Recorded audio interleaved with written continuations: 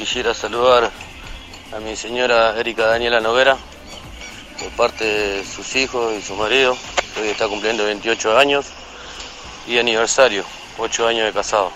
Vamos por manera. Felicidades para ustedes. Hola Danilo, buen día. Decirle a Gabriela que Sí. lo del lápiz no es verídico, porque los billetes falsos a muchos los enceran, entonces cuando vos pasas a hacer lápiz eh, se mm, resbala y no marca negro.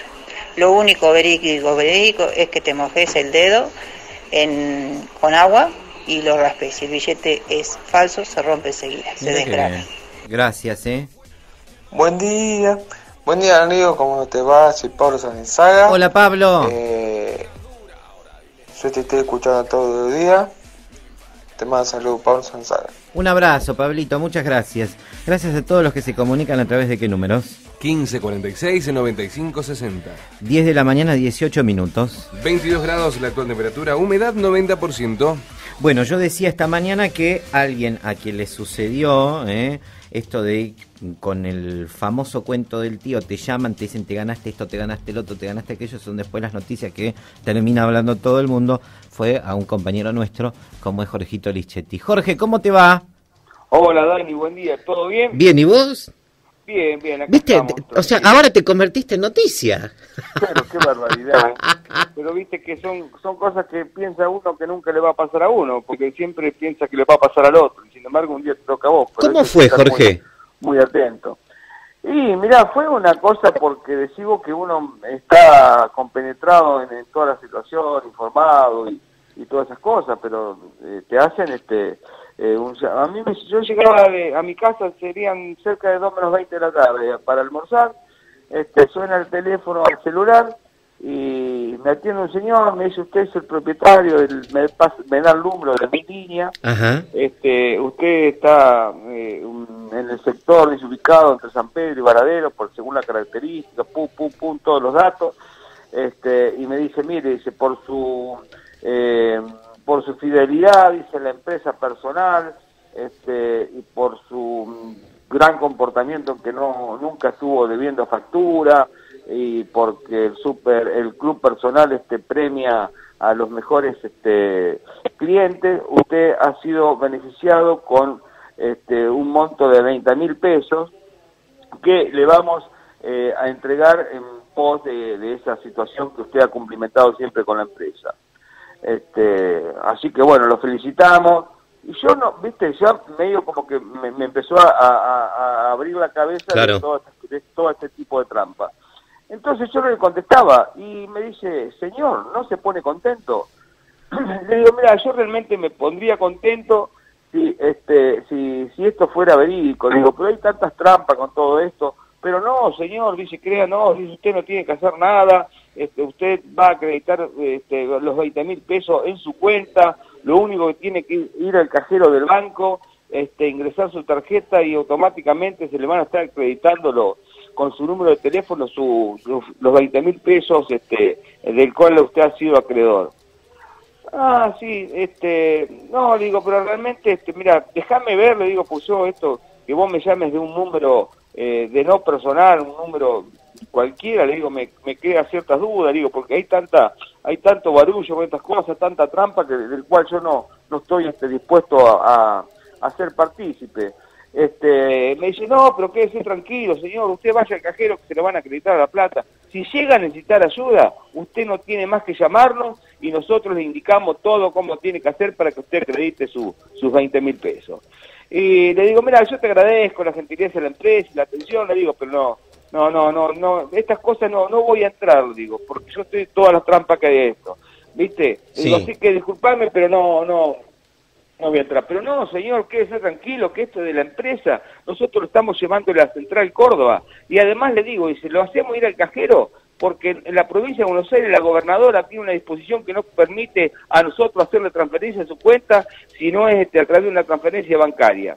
Viste, le digo, no, no, no me engañes más. Y cuando yo sabía que el tipo, yo le empezaba a decir que iba a llamar a la empresa personal, que no tenía por qué llamar a- desde ese número donde me estaba llamando, creerle, que iba a llamar al 111 y dice que no, porque eso es la central, nosotros estamos llevando de Córdoba, donde se hace toda la parte administrativa. Cuando yo le empecé a buscar realmente mm, hilar fino, me cortó.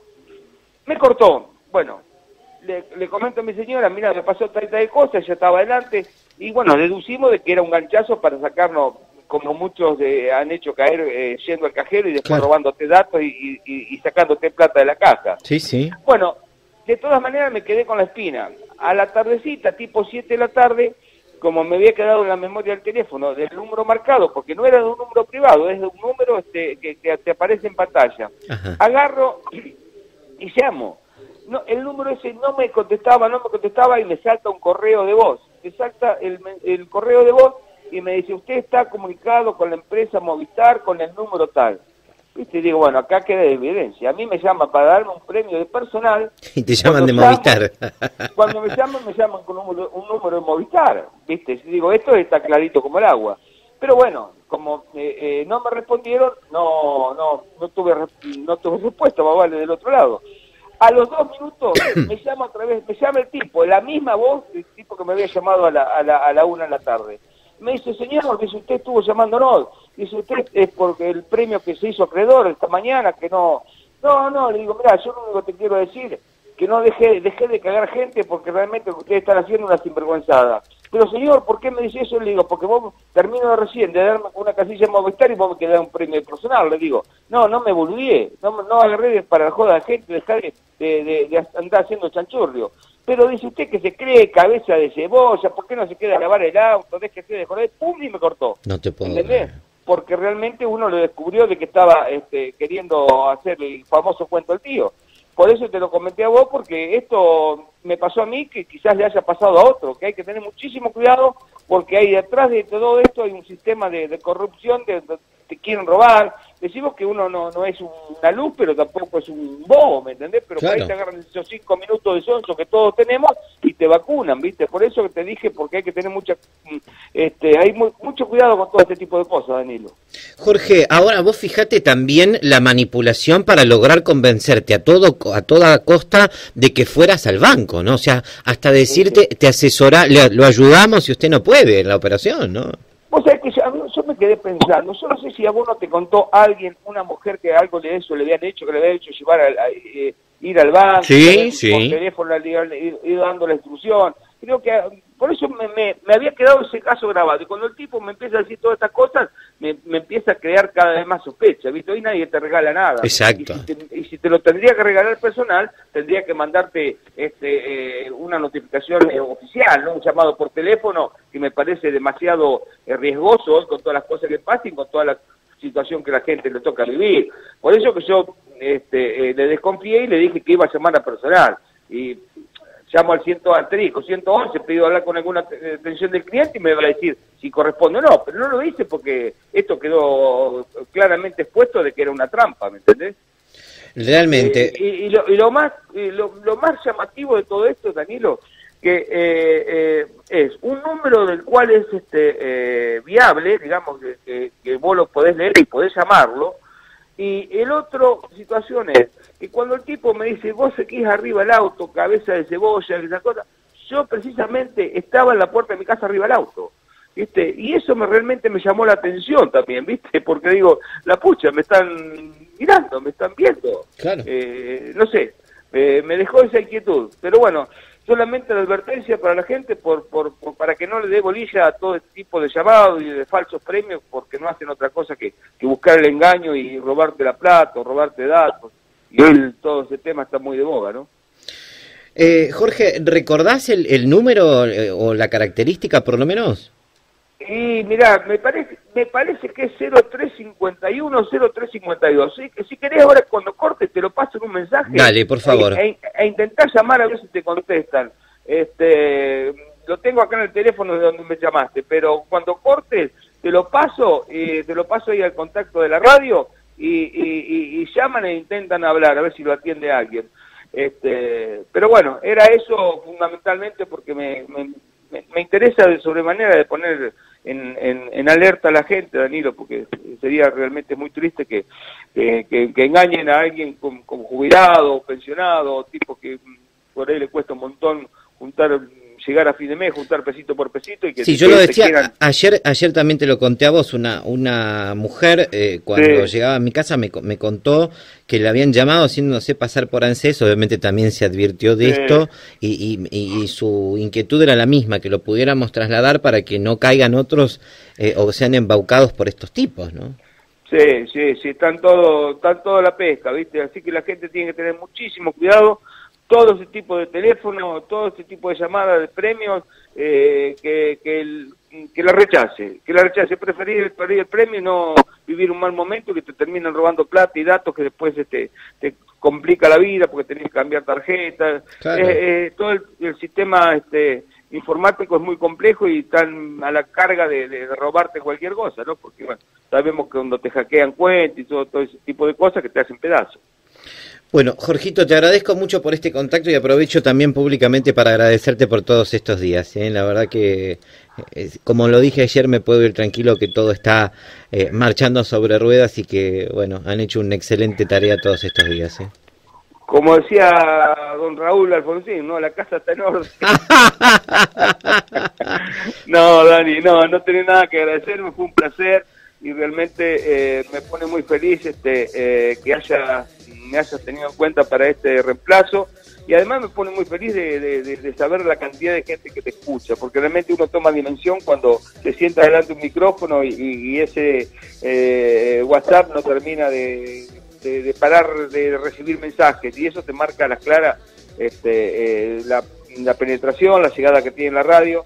Y además haber conocido a fondo a todos los chicos que trabajan ahí que, sin ellos, como les decía cuando me despedía del viernes, sería imposible porque uno, vos lo sabés, como periodismo, hacer periodismo, hacer locución, si no tenés una, un grupo de, de tarea, la producción, todas esas cosas que funcione, eh, el, locutor se le hace imposible hacer un programa de un magazine de cinco horas como haces, Dani. Te lo agradezco y bueno, por supuesto en nombre de todos los chicos y te digo algo, prepárate porque dentro de poco volvés. ya te lo dije el otro día, ya sos parte de contacto directo. No, seguro, seguro, que sí, yo me siento parte de la radio. Lo sé, sé que es así. toma la identificación, pero, pero bueno, sí, sí, no te voy a prometer que voy a hacer en la mañana porque vos la sé muy bien y, además los tiempos a mí por ahí no me dan con mi trabajo. Pero sí la promesa de que vamos a arrancar un programa eh, en un año político, haciendo política, haciendo un poco eh, un popurrí, porque eh, no sabemos, vamos, no sabemos ni cuándo empezamos ni cuándo terminamos. Es así mejor dicho, terminamos, vamos a terminar en noviembre con algún, si hay balotaje, pero eh, hay tanta cantidad de posibilidades de elecciones que vamos a estar todo el año en elecciones, así que eso lo vamos a hacer los sábados a la mañana como lo estuvimos haciendo en el 2017, que es lindo, llevadero y, bueno, ir metiéndonos en clima eh, de lo que va a pasar electoralmente este año, Danilo. Mira, ayer... Eh, em, no sé si lo escuchaste, pero hablamos con el subcomisario Firavanti y se refirió a vos. Escucha. Bien, bien. ¿Bien? Ah, bueno, bueno, bueno. Lichetti se defendía como gato entre la leña. Pues,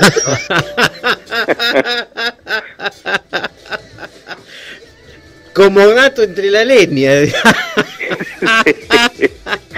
sí, sí, sí, sí. ¿Qué, va a Qué grande, pero, Jorge. Pero bueno, viste, qué sé yo, uno hace lo que puede, eh, eh, uno por ahí este, eh, eh, estas cosas lo, lo, hacen feliz, lo ponen, lo distraen, lo, lo sacan del contexto del día a día y, es como si uno se tomara vacaciones también un poco, ¿no? Porque, pero bueno, también, se pone a prueba de que si algún día me jubilo de, de, de, martillero, sé que te puedo hacer abrir una radio y poner poner un programa. Totalmente. ¿eh? Te hago, la contra. no, no. No, no, vos sabés que eh, eh, me encanta, me encanta, es algo que uno aprendió desde hace muchos años transmitiendo fútbol y eso te da seguramente la, facilidad de, vocabulario, después los programas de políticos mm, también te lo dan, de haber estado ocho años concejal te da también una facilidad de argumentar, de preguntar, y, bueno, son, son los años lo que te llevan a esto, ¿no? Y, la vocación, porque realmente uno la descubrió de grande, pero que también esto de, hacer periodismo es, también pasa por la vocación, que es lo que te pasa a vos, que te veo que trabajás como un animal, que estás de vacación y estás pendiente de lo que pasa en la radio. Digo, este, se, se, toma vacaciones y no se, enchufa nunca. Y no, imposible, la verdad que es imposible. ¿eh? Bueno, mando un dale. abrazo grande, gracias por el Te contacto. mando un abrazo, un saludo ahí a todos los chicos y, y los veremos en cualquier momento. Dale, Gracias. Jorge, gracias. Jorge Lichetti hablando con nosotros, contándonos, y han llegado muchísimos mensajes de oyentes que les ha pasado exactamente lo mismo, ¿eh? que ahora vamos a ir